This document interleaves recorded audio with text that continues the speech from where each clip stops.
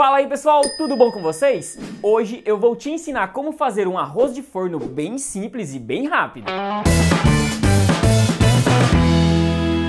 Pessoal, essa aqui é uma receita para a família inteira. Ela rende bastante e você pode fazer ela como almoço ou pode fazer como acompanhamento. Ela combina com carne, com frango ou você pode servir só com uma saladinha mesmo. Mas antes de começar, se inscreve aqui embaixo no nosso canal, deixa um joinha e clica no sininho.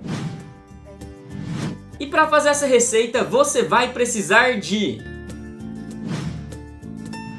4 xícaras de chá de arroz cozido, uma lata de milho verde sem a água, 150 gramas de presunto picado, 300 gramas de queijo mussarela cortado em cubinhos, cheiro verde picado a gosto, uma cenoura média ralada, 3 ovos, uma caixa de creme de leite, um potinho de 180 gramas de requeijão cremoso, 150 ml de leite, 50 gramas de queijo parmesão ralado, sal a gosto, pimenta do reino a gosto e 150 gramas de mussarela fatiada. Em uma tigela, coloque o arroz, o presunto picado, a mussarela em cubinhos, o milho, a cenoura ralada Adicione o cheiro verde picado, uma pitadinha de sal, um pouquinho de pimenta e agora a gente vai misturar tudo. Misture tudo muito bem para que todos os ingredientes fiquem bem envolvidos. E já aproveita para deixar um like aqui pra gente. Em uma outra tigela, a gente vai juntar os ovos, o requeijão cremoso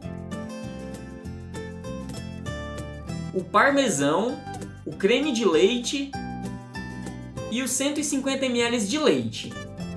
Agora com a ajuda de um fouet ou de um garfo, a gente vai misturar tudo muito bem.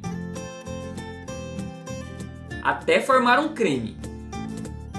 Pessoal, esse creme aqui é o toque especial do seu arroz cremoso.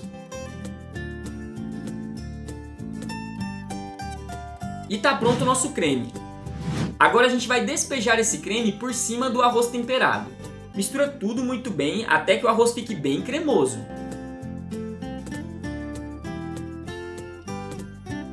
E já aproveita para se inscrever aqui embaixo no nosso canal, hein?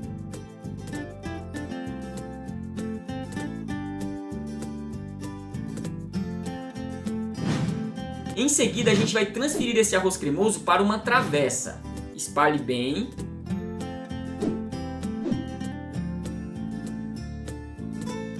Em seguida, a gente vai colocar a mussarela fatiada por cima do arroz.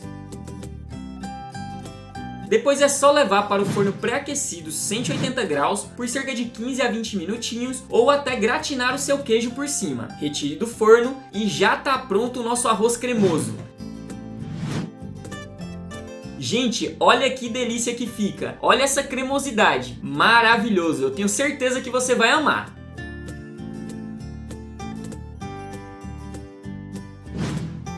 E aí, gostou dessa receitinha? Olha só, não esquece de se inscrever aqui embaixo no nosso canal, tá? É muito importante pra gente. E aproveita também para baixar nosso aplicativo.